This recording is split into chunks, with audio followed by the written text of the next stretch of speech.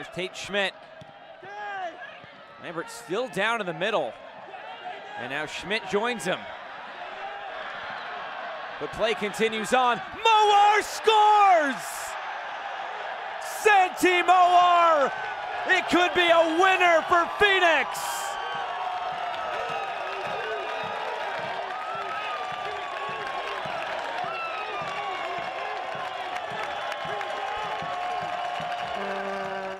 Since the Spaniard tangoed his way to victory.